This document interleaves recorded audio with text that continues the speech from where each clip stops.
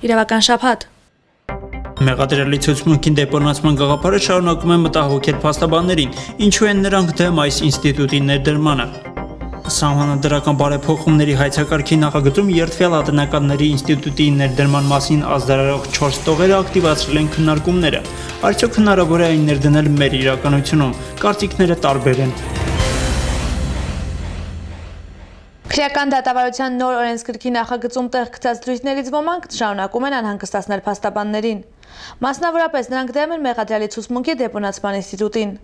Ինչով են հիմնավորում իրենց պնդումները փաստաբանները։ Մանրամասները Գևորգ Թոսունյանի պատրաստած ռեպորտաժում։ Առաջին անգամ դեպոնացման մասին սկսեցին խոսել 2008 թվականի մարտի 1-ի գործով դատավարությունների շրջանակներում։ Այս ինստիտուտի ներդրումը առաջարկի տեսքով տեղ գտավ ԵԱԿ զեկույցում։ Փաստաթղթում խոսքը գնում էր վկաների ցուցմունքի դեպոնացման մասին։ Մեր մոտ վերցվեց այս գաղափարը եւ ոնց որ հաճախ է լինում, ոտից գլուխ շուռ տրվեց եւ այսպես ասած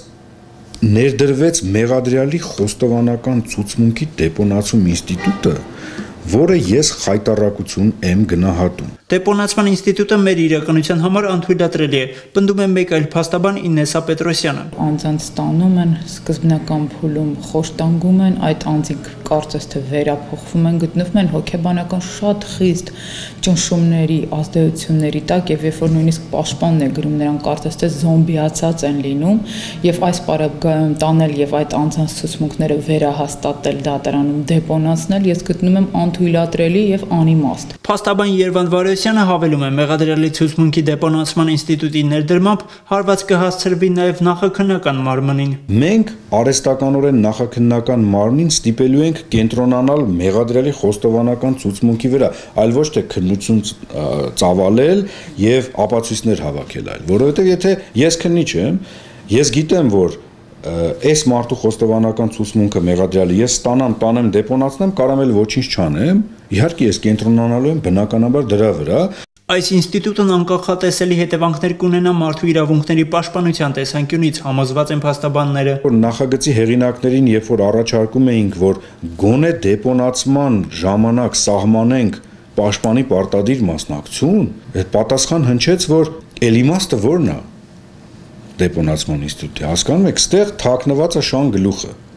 Այսինքն փորձ է կատարվում հեշտացնել ամեն ինչ։ Այդ անօրինականությունը ընդհանրապես ուզում են ավելի օրինական դաշտ մտցնել, տանել եւ դատարանի կողմից դա հաստատել, դեպոնացնել։ Այնպես որ փաստաբաններն այս ինստիտուտի կիրառումը նպատակահարմար են համարում միայն բացառիկ դեպքերում՝ դժողների եւ վկաների ցուցմունքների դեպոնացմամբ։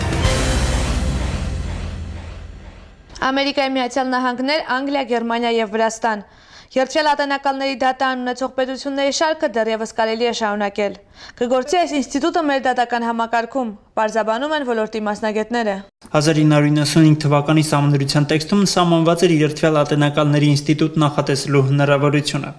2005 թվականի սահմանադրական փոփոխություններով այն վերացվեց։ Այս բանավեճը կրկին գլուխ բարձրացրեց 2013 թվականի սկիզբ դրված սահմանադրական բարեփոխումների շրջանակներում։ Ինչու այս ինստիտուտը չի կարող գործել մեր իրականությունում։ Երկաթյա փաստարկները մի քանիսն են։ Առաջինը պայմանավորված է մեր բնակչության թվի անկմամբ։ Եթե ճունենք բնակչության համապատասխան քանակ, որից է ընտրել երթվալատենակալներ, հանաչար, արդեն այն մնացած փաստարկները կարանք չբերենք։ Միացյալ Նահանգներում. Երթվալները ընտրվում են տվյալ նահանգի տվյալ անգամ համայնքի ներկայացուցիչներից Այսինքն չնայած Միացյալ Նահանգները ունի ավելի քան 300 միլիոն բնակչություն, բայց օրինակ նահանգների անուններ ասեմ, Դելավեր նահանգի բնակչությունը շատ ավելի փոքր է, քան Հայաստանի Հանրապետության բնակչությունը։ Հաջորդ խնդիրը երթվյալ ատենականների անկախության հարցն է։ Մենք այդքան անաչառ նոր չենք կար հավաքենք, որ այդ ծանոթ բարեկամ դուժող կողմի կամ մեղադրյալ կողմը չգտնի։ Մի քանի երթվյալների պարագայում շատ ավելի դժվար է որոշակի ներգործություն ունենալ, որտեղ գործ ունես ոչ թե 1, 2, 3 անձի հետ, այլ ավելի մեծ թվով անձանց հետ։ Իսկ արդեն երրորդ խնդիրը ռեսուրսային է։ Դա շատ թանկ հաճույք է։ Այդ երթվալատնականները պետք է վարձատրվեն պետական բյուջեից, դառնվազն պետք է ամեն անգամ ընտրվեն 19 հոգի, որpիսի դրանցից մաղվեն մնան 12-ը կամ 13-ը, նայած ինչ ձևաչափ են ընտրվում եւ պետք է անպայման այնտեղ Պայստան երթվալատենականներն են եւ եթե դատավարությունը իշքամ երկար տևում այդ կամ էլ այդ մարտիկ պետք է վարձատրվե մենք պետք է գիտակցենք որ որակյալ արդարադատությունը միշտ թանկ հաճույք է եւ մենք կարծում եմ որ կարող ենք նաեւ շահել ավելի թանկ վճարելով այն բանի համար որ մեր համար այդքան կարեւորություն ունի Եթե անգամ ներդրվեն այս երկու խնդրահարույց ինստիտուտները, դրանք լիարժեք չեն գործի, քանի դեռ օրենքի գերակայությունը չի հաստատվել ողջ դատական համակարգում։